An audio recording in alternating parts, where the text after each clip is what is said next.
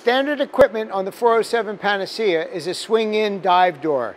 This door opens up, swings around, and covers the gunnel so that you don't lose any of your deck space when the door is open. To open the door, first you'll need to release the latch. That's done by pulling down on the spring pin that acts as a safety to keep the latch latched when you're underway. Next, you'll slide the bolt up and then move it forward.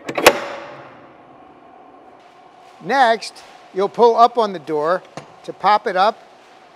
Then you can swing it open and allow the magnetic catch on its base to catch and hold the door open.